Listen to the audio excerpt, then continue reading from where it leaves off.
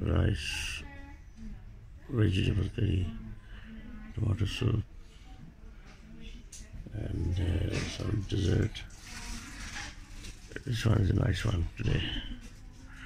And let's go and have a look how it's gonna taste like.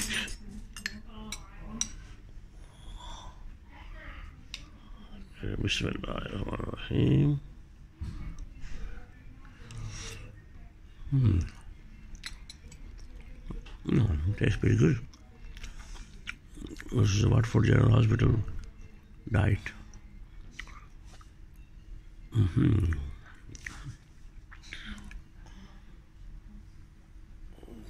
Those are the words. Oh, this is the diet. Ok. Bueno,